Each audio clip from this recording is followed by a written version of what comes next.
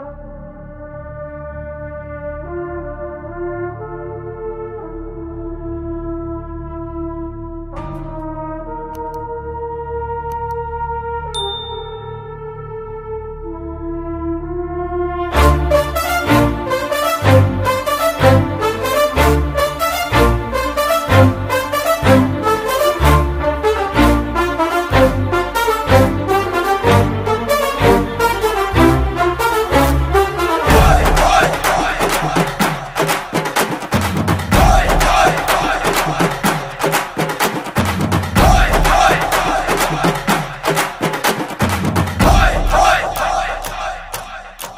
KG ಕ್ಷೇತ್ರದ್ದು mainly ಬಂದು issue ಬಂದು ಭಾರತ್ ಗೌರ್ಮೆಂಟ್ಸ್ ಲಿಮಿಟೆಡ್ ಇವತ್ತೇನ ಇದು ಬಂದಿದೆ ಅದು ಬಂದು ಪರ್ಮಿಷನ್ ಕೊಟ್ಟಿದ್ದಾರೆ. ಯಾರು? ನಮ್ಮ ಸ್ಟೇಟ್ ಗೌರ್ಮೆಂಟ್ ಯಾಕಂದ್ರೆ ಇಲ್ಲಿ ಗೌರ್ಮೆಂಟ್ ಬಂದು ಲೀಸ್ಗೆ ತಗೊಂಡಿದ್ದಾರೆ ಸ್ಟೇಟ್ ಗೌರ್ಮೆಂಟ್ ಸೆಂಟ್ರಲ್ ಗೌರ್ಮೆಂಟ್ ಅಷ್ಟೇ land from the state government any operation they to take the permission ಅದು ಟೂ ತೌಸಂಡ್ ಟೂ ನಲ್ಲಿ ಬಂದು ಎಕ್ಸ್ಪೈರಿ ಆಗೋಯ್ತು. ಅವ್ರು ಕೊಟ್ಟಿರೋ ಇದು ಅನುಮತಿ. ಇವಾಗ ಅದನ್ನ ರಿನ್ಯೂ ಮಾಡಿದ್ದಾರೆ. ಅದು ಸೈಲ್ ಡಂಪ್ ಇದೆ ನೋಡಿ. ಅದಕ್ಕೆ ಕಾರ್ಬನ್ ಇನ್ ಪಲ್ಪ್ ಅಂತ ಕರೀತಾರೆ ಸಿ ಐ ಪಿ ಪ್ರಾಜೆಕ್ಟ್ ಅದು. ಅದೇ ಟೈಲಿಂಗ್ಸ್ ಅಲ್ಲಿ ಬಂದು ಒಂದು ಗ್ರಾಮ್ ಗೋಲ್ಡ್ ಬರುತ್ತೆ, ಒಂದು ಟನ್ ಆಫ್ ಓರಲ್ಲಿ ಸೊ ಅದನ್ನ ಎಕ್ಸ್ಟ್ರಾಕ್ಟ್ ಮಾಡಿದ್ರೆ ಅವ್ರಿಗೂ ಗೋಲ್ಡ್ ಸಿಗುತ್ತೆ. But employment opportunity only for sixty to seventy five percent that's all ಅದು ದಟ್ ವಿಲ್ ನಾಟ್ ಇದು yield any result for our youths ಅದರಲ್ಲಿ ಕೆಲಸ ಮಾಡೋಕ್ಕೆ ಅವ್ರು ಯಾರು ಬರೋದಿಲ್ಲ. ಆಗ ನಮ್ಮ ಆಬ್ಜೆಕ್ಟಿವ್ ಮೊದಲಿಂದನೂ ಬಂದು ಆಲ್ಟರ್ನೇಟಿವ್ ಇಂಡಸ್ಟ್ರೀಸ್ ಅಂತ ನಾವು ಕೇಳ್ತಾ ಇದ್ವಿ. ಇದು ನಾನು ಲಾಸ್ಟ್ ಟೈಮ್ ಕೂಡ ನಮ್ಮ ಸಿ ಎಂ ಕುಮಾರಣ್ಣ ಇದ್ದಾಗ constitution of authority or board to manage the B G M L township ಯಾಕಂದ್ರೆ B G M L township management ಬಂದು ಸೆಂಟ್ರಲ್ ಗೌರ್ಮೆಂಟ್ ಅಲ್ಲಿ ಇದೆ. ಅದು ಟೌನ್ಶಿಪ್ ಮಟ್ಟ ಸಪ್ರೇಟ್ ಆಗಿ ಮಾಡಿಬಿಟ್ರೆ ಹತ್ತು ಸಾವಿರ ಮನೆಗಳಿದೆ ಅಲ್ಲಿ. ಈ ಹತ್ತು ಸಾವಿರ ಮನೆಗಳಿಗೂ ಬಂದು ಬೇಕಾದ ಮೂಲಭೂತ ಸೌಕರ್ಯಗಳು ಮಾಡಕ್ಕೆ ಏನು ಬಂದು ಯೋಜನೆ ಇಲ್ಲ. ಸೊ ಮುನ್ಸಿಪಾಲಿಟಿ ಏನ್ ಮಾಡುತ್ತೆ ಔಟ್ ಆಫ್ ದಿ ಟರ್ನ್ ಬೇಸಿಸ್ನಲ್ಲಿ ಅವ್ರಿಗೆ ಎಕ್ಸಿಕ್ಯೂಷನ್ ಮಾಡ್ತಾ ಇದ್ದಾರೆ. ಸೊ ಅದು ನಾನು ಅದನ್ನ ಅವ್ರ ಹತ್ರ ಕೇಳಿದ್ದೀನಿ. ಪ್ಲಸ್ ಇಂಡಸ್ಟ್ರಿಯಲ್ ಟೌನ್ಶಿಪ್ ಮಾಡ್ಬೇಕಂತ ನಾವು ಮೊದಲಿಂದ ಸುಮಾರು ಒಂದು ಏಯ್ಟಿ ಫೈವ್ ಏಯ್ಟಿ ನೈನ್ ಇಂದ we been struggling Mangaluru Chennai express corridor ಇದೆಯಲ್ಲ? ಅದರಲ್ಲಿ ಬಂದು central government they. Planned industrial node it is government proceedings ಮೂರು ಸಾವಿರ ಕೋಟಿ ಬಂದು it is been going to provide to establish the industrial node for internal infrastructure development these are the proceedings by the state government so ಇದನ್ನ ಬಂದು ತಾವು ಕೈಗೆ ಎತ್ಕೊಂಡ್ರೆ entire ನೋಡ್ ಬಂದು ನಮ್ಮ ಕಂಟ್ರೋಲ್ ಅಲ್ಲಿ ಬರುತ್ತೆ. You need not have to any interference from the state government also whole and sole because it is the public sector undertaking ಅವ್ರದ್ದು ಲ್ಯಾಂಡ್ ಕಂಪ್ಲೀಟ್ ಬಂದು ಗೌರ್ಮೆಂಟ್ ಆಫ್ ಇಂಡಿಯಾ ಕಂಟ್ರೋಲ್ ಇರುತ್ತೆ. So as a parliamentarian you can take the whole control and the credit will come to us ನಮ್ಮಿಂದ ಬಂದು ಸಾವಿರಾರು ಜನರಿಗೆ it is not confine to K G F alone ಇಡೀ district ಅಲ್ಲಿ ಇರ್ತಕ್ಕಂಥ ಯುವಕರಿಗೆ, ನಮ್ಮ ಕಾನ್ಸ್ಟಿಟ್ಯೂನ್ಸಿನಲ್ಲಿ ನಮ್ಮಿಂದ ಬಂದು ಅನುಕೂಲ ಮಾಡಿಕೊಡಕ್ಕೆ ಒಂದು ಸಾಧ್ಯತೆ ಇದೆ. ಫ್ಯೂಚರ್ ಜನರೇಷನ್ ಅಲ್ಲಿ ಬಂದು ಯಾವಾಗಲೂ ಬಂದು ನಿಮ್ಮ ಹೆಸರು ಬಂದು ಇರೋ ತರ ಒಂದು ವ್ಯವಸ್ಥೆಯನ್ನು ನಾವು ಮಾಡಕ್ಕೆ ಒಂದು ಟೈಮ್ ಬೌಂಡ್ ಪ್ರೋಗ್ರಾಮ್ನ ತಾವು ಮಾಡ್ಕೊಂಡ್ರೆ it will be very good opportunity for us ಇದು ಬಂದು ಇಂಡಸ್ಟ್ರಿಯಲ್ ಡೆವಲಪ್ಮೆಂಟ್ಗೋಸ್ಕರ ಗೋಸ್ಕರ. In 2018 ಯಾ ಯಾ ಕುಮಾರಸ್ವಾಮಿ ಅವ್ರ ಸಿಎಂ ಹೌದು ಅವ್ರ ಸಿ ಎಂ ಇದ್ದಾಗ ನಾನು ಅವ್ರನ್ನ ಭೇಟಿ ಮಾಡಿ ಇದನ್ನ ಪ್ರೊಸೀಡಿಂಗ್ಸ್ ಎಲ್ಲ ಮಾಡಿಸಿದ್ದೀನಿ ಪ್ಲಸ್ ಇದ್ರದ್ದು ಇದೆ ನೋಡಿ ಈ ಮನೆಗಳದ್ದು ಮನೆಗಳದ್ದು ಕೂಡ ಬಂದು ನಮ್ಮ ಮುರುಗೇಶ್ ನಿರಾಣಿ ಅವಾಗ ಇಂಡಸ್ಟ್ರೀಸ್ ಮಿನಿಸ್ಟರ್ ಆಗಿದ್ರು. ಅವ್ರನ್ನ ಭೇಟಿ ಮಾಡಿ ಅವ್ರ ಹತ್ರ ಡಿಸ್ಕಷನ್ ಮಾಡಿಬಿಟ್ಟು ಅವ್ರು ಬಂದು ಡೆಪ್ಟಿ ಕಮಿಷನರ್ಗೆ ಒಂದು ಕಮಿಟಿ ಒಂದು ಕಾನ್ಸ್ಟಿಟ್ಯೂಷನ್ ಮಾಡಿದ್ರು.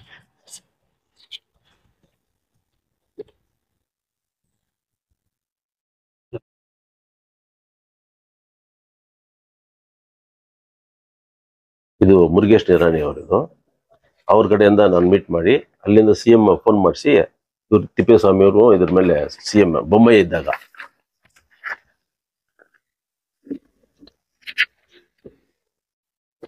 These are the points which was given to the chief ministers ಯಾರು ಬೊಮ್ಮಯ್ಯ ಇದ್ದಾಗ ಸರಿ ಆಮೇಲೆ ಕುಮಾರಣ್ಣ ಇದ್ದಾಗ ಸರಿ. These are the important issues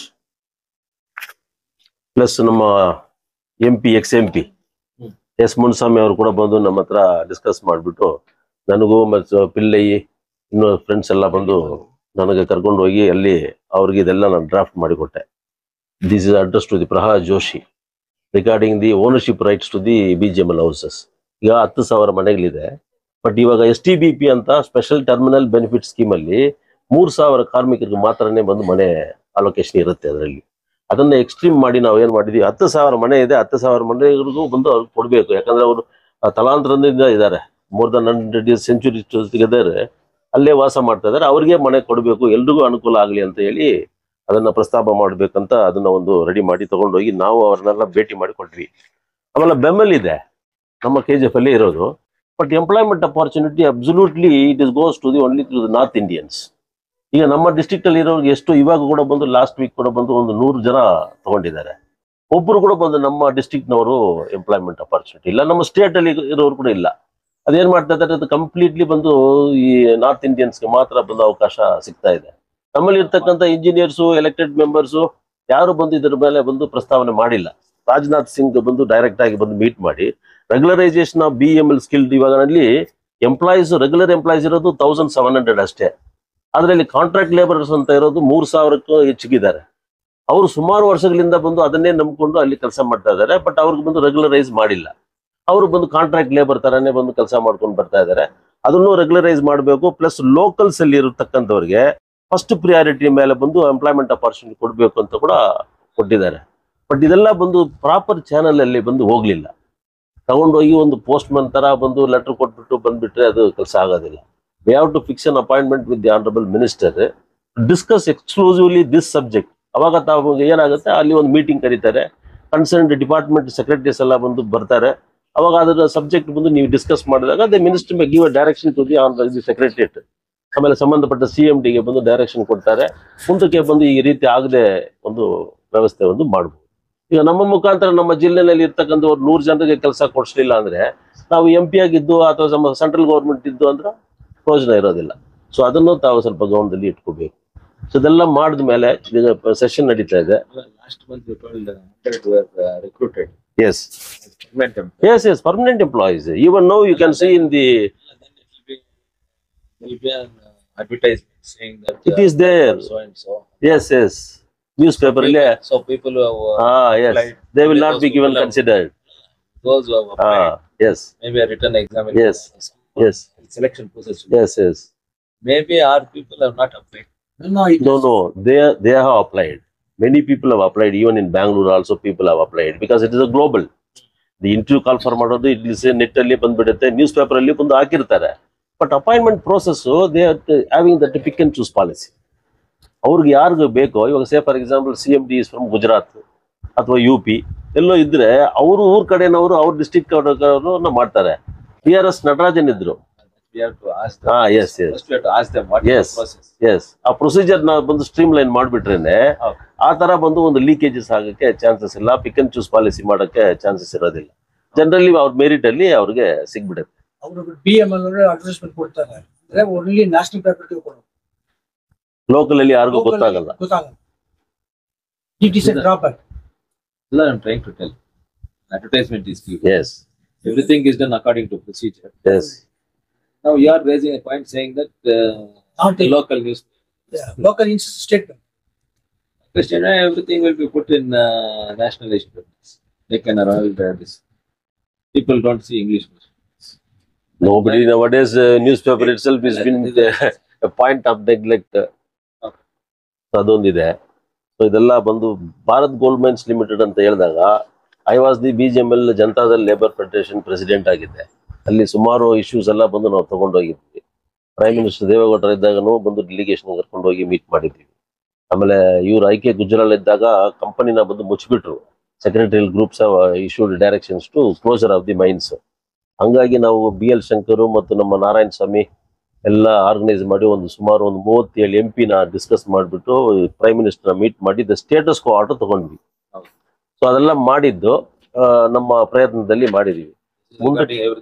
Yeah yeah it is it is there it is there yes yes yes BEML B G M L ಇದು government of India regarding this is B G M L B G M L ಬಂದು land ಬಂದು take over ಮಾಡಿಕೊಂಡು Chennai express corridor ಇದು ಇದೆಲ್ಲ ಇವ್ರಿಗೆ ಕೊಟ್ಟಿದ್ದು ನಾನು M P ಅವ್ರಿಗೆ ಹಾ. ಇದೆಲ್ಲ ಬೇಕಾಗತ್ತೆ ಇಟ್ಕೊಳ್ಳಿ everything is online. Yes yes yes ಅಲ್ಲ, everything is everything online. Yes yes There's no no question of Hard copy. Hard copies ಇಷ್ಟು ಅದನ್ನು. Yeah This is regarding BGML land. ಹೌದು. ಇದು ಇದು ಇದು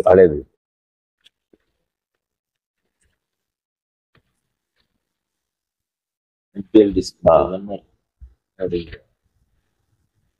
ಅದೇ ಅದರಲ್ಲಿ ಇದೆ ಅದು ಕ್ಲಿಯರ್ ಕಾಪಿ ಇದು xerox copy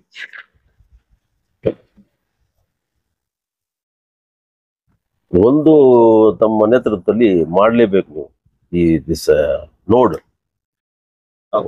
entire thing will be coming under your country Yes. When we, I mean, I need to study a lot of things. Yes, yes. See, regarding KGF or BGML, eh, any information, you don't hesitate. We are there with you. Okay. We can give you the entire feedback. eh, Whatever try, type of uh, help that we can able to give you, we will. There is no point. After this program, ನಂದು ಒಂದು ಬೇಡಿಕೆ ಏನಂದ್ರೆ we need till fourth it only That's what. After this uh, taking oath in this uh, parliament, when you return back, eh, we request your date for us for organizing a meeting in KGF to invite uh, the uh, people of that uh, constituency in general, not in uh, particular, particular party ಅಂತ ಇಲ್ಲ ನಾನು general ಆಗಿ ಅಲ್ಲಿರ್ತಕ್ಕಂಥ ವ್ಯಾಪಾರಸ್ಥರು ಎಲ್ಲರೂ ಬಂದು ನಿಮ್ಮನ್ನ ಭೇಟಿ ಮಾಡಬೇಕು ಮೀಟ್ ಮಾಡಬೇಕು ನೋಡ್ಬೇಕು ಅಂತ ಕೇಳ್ತಾ ಇದ್ದಾರೆ. ಸೊ ಎಲ್ರಿಗೂ ಬಂದು ಪರಿಚಯ ಮಾಡೋ ತರ ಒಂದು ಎಲ್ಲಾ ಸೆಕ್ಷನ್ಸ್ ಆಫ್ ದಿ ಸೊಸೈಟಿಗೂ ಬಂದು ನಾವು ಇನ್ವೈಟ್ ಮಾಡಿ ಒಂದು ಸಭೆ ಮಾಡ್ಸಕ್ಕೆ ಒಂದು ನಮ್ಗೆ ನೀವು ಒಂದು ಅವಕಾಶ ಕೊಡ್ಬೇಕು. ಯಾಕಂದ್ರೆ ನಾನು ಕೇಳ್ತಾ ಇದ್ದೇನೆ ಅಂದ್ರೆ ಎಲೆಕ್ಷನ್ ಟೈಮಲ್ಲಿ ನನಗೊಂದು ಅವಕಾಶ ಕೊಟ್ಟಿದ್ದಿದ್ರೆ ಮೈನಿಂಗ್ ಪ್ರದೇಶದಲ್ಲಿ ನಾನು ಯಾವ ರೀತಿ ಮೀಟಿಂಗ್ ಮಾಡಿರ್ತೀನಿ ಯಾವ ರೀತಿ ಆರ್ಗನೈಸ್ ಮಾಡಿರ್ತೀನಿ ಅಂತ ಗೊತ್ತಾಗ್ತಾ ಇತ್ತು. But unfortunately time was not sufficient ಅದರಲ್ಲಿ ಬಂದು ಈ coordination not coordination is problem ಅದರಲ್ಲಿ BJP wanted to take their own chances everywhere so we left them fully ಅವ್ರಿಗೆ ಕೊಟ್ಬಿಟ್ಟಿವಿ. ಇದು ಒಂದು ಅಪಾರ್ಚುನಿಟಿ ನಮ್ಗೆ. ಪಾರ್ಟಿ ಡೆವಲಪ್ಮೆಂಟ್ ಮಾಡಕ್ಕೆ ತುಂಬಾ ಒಂದು ಅನುಕೂಲ ಆಗುತ್ತೆ. Your role because it is a very big boost for the party people ನೀವು KGF ಆಗಿರೋದು. ಯಾವುದೇ ಇದ್ರೂ ಮಾಡ್ಕೊಡ್ತೀವಿ. ಯೂಸ್ ಮಾಡ್ಕೊಳ್ಳಿ. okay there is no problem at all ಹಿಂಗೆ ಮಾತಾಡ್ತೀನಿ ಏನ್ ಒಂದ್ ನಿಮಿಷ ಸರ್ ಈಗ ಫಸ್ಟ್ ಟೈಮ್ ಪಾರ್ಲಿಮೆಂಟ್ ಹೋಗ್ಬೇಕು ಏನ್ ಅಜೆಂಡಾ ಇಟ್ಟಿದೆ ಏನ್ ಮಾತಾಡ್ಬೇಕು ಏನೋ ಪ್ಲಾನಿಂಗ್ ಫಸ್ಟ್ ಟೈಮ್ ಇವಾಗ ಹೋಗ್ತಾ ಇರೋದು ನಾವು to take oath and after that the oath taking it will be mostly for three days ಆಮೇಲೆ ಸ್ಪೀಕರ್ ಎಲೆಕ್ಟ್ ಮಾಡ್ತಾರೆ so now will the first time MPs will not get an opportunity to talk in the parliament. And maybe the whatever the previous government has uh, taken steps and those things I think will be passed in this uh, uh, session. Session. so session. we will not get an opportunity to talk. I am taking this 15 days only to find out how things happen in parliament, whom to approach, how to approach. Already we have spoken uh, to the National Highway Authority people in Delhi. We have al- already got three proposals. One is Kuppam to uh, Andhra border, NH 42 to NH 44, Kuppam to Bagepalli. Ano- Another one is uh, from Hoskote to Madanpalli. The other one is uh, Hosur to Madanpalli via Malur, uh, Kolar and uh, Kadgol Cross and Madanpalli. So these three proposals we have already got. These three proposals were already sent to the ministry around three to four years back, but still nothing has happened. I have already spoken to Mr. Uh, H.D. Kumar Swami ji regarding this. He has already spoken to Nitin uh, Gadkari ji. So that one proposal we are going to put forward to the ministry in uh, the next 15 days. Regarding BGML land, we have already spoken with the Secretary Heavy Industries the day Mr. H.D. Kumar Swami ji took charge. So we have already told there is 12,000 acres of land in the name of BGML adjacent to the express corridor between uh, Hoskote to Chennai. And I have already informed them that Chennai is almost 180 kilometers, uh, just 180 kilometers away from uh, KGF, and the international airport, Bangalore International Airport, is only 70 kilometers. And connectivity because of this express corridor is an advantage. So, and I've told them that the 12,000 acres is adjacent to the express corridor. So, even they are showing interest in uh, setting up some industry, but it all depends on the feasibility of the projects which are going to come there. So that will take minimum at least on three, four months because the feasibility has to be checked by the industry which is going to come. It is not it will not be going to be any PSU, but it will be a private uh, EPP, model. EPP ah. model or a private player who is going to come and set up a factory because of the infrastructure which is already there. But I request one thing uh, the of municipality and the KGF MLA to increase the infrastructure of KGF city because getting a getting a industries is not important. Because when you come and set up an industry the infrastructure of the city has to be proper. There should be proper roads within the city. There should be proper hotel facilities. There should be proper accommodation facilities for the people who are already going to come and exist the during the implementation of the project.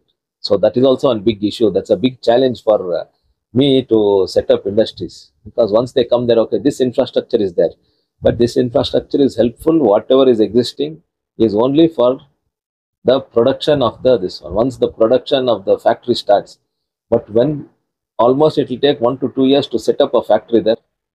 And that time the people who are going to work there the engineers or the laborers or uh, the high level administrators who are going to come there you need an accommodation and the infrastructure in the city also is very important so i request the local mla and the municipality to set uh, set up those things right because we have an opportunity for that five years because uh, uh, Mr. H.D. Kumar Swamiji is the heavy industries minister and he'll continue for five years according to whatever uh, sources are there.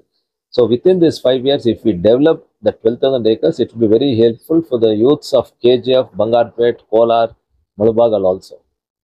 So that one issue is there. No, whatever you, you said now, you discussed and requested uh, Mr. Kumar Sami. Yeah. What he assured? So that is what I'm saying. It is just the he has taken charge only around 12 days back. He cannot assure things.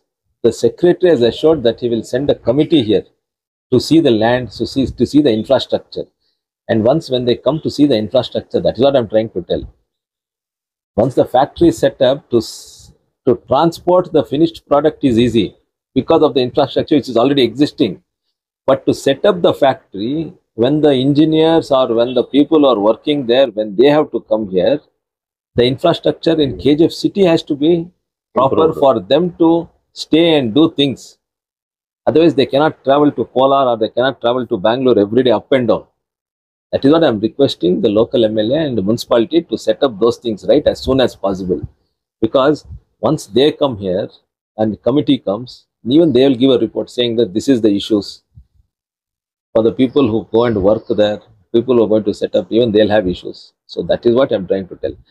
And once the committee comes, we'll make sure that Polar is just 30 kilometers away, Bangarpet is there, hmm and from KGF you can go to uh, Bangalore also through the express corridor. So even we'll try to convince them all of those things. That is not an issue. But what my this one is, it is our duty to set up a unit, uh, big manufacturing units.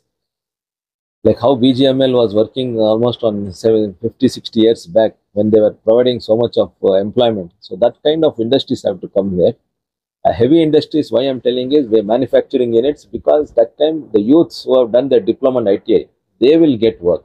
So once the youths are uh, what is that occupied with their work opportunity.